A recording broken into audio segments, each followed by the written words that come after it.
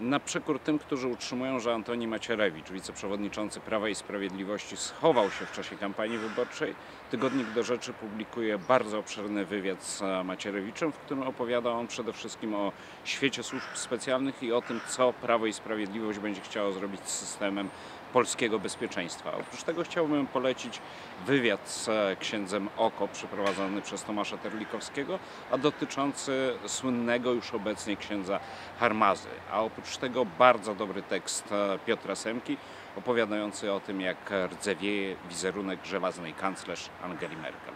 Serdecznie zapraszam do lektury.